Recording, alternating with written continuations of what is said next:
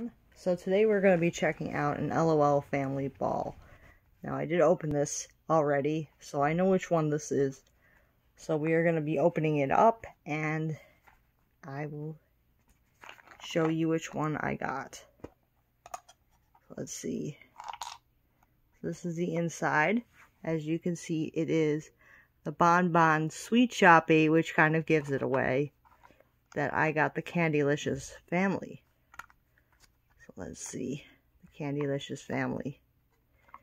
So we've got the pet, which is a little bunny.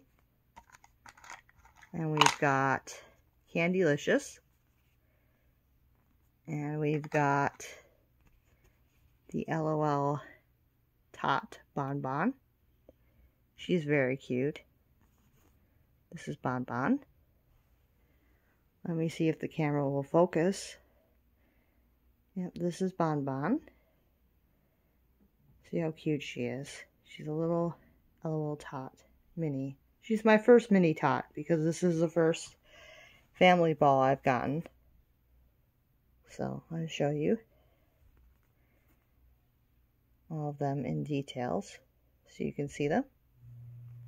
And then Candylicious also came with her own little bear backpack, just like the bigger doll has. And then there is also a stand for the tot as well. So yeah, or I think, I'm not sure which stand goes with which. Um, I'd have to figure that out, but they did come with two stands. So there are two stands.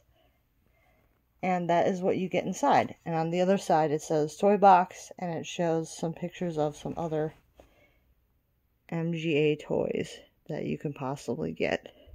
Some Num Noms and some of the LOL um, superheroes and some of the tiny toys and things and some Lalaloopsies and stuff. So that's cute. So, yeah, I like this a lot. So yeah, there's a sweet shop and there's a toy shop. So that is what's inside the family set. So I hope you like this. Um, I think this is really cute. I may get another family ball um, because I'd like to also get a set of roommates as well because I have a roommate and I think that would be fun to get a set of roommates. So we will see which one I get next.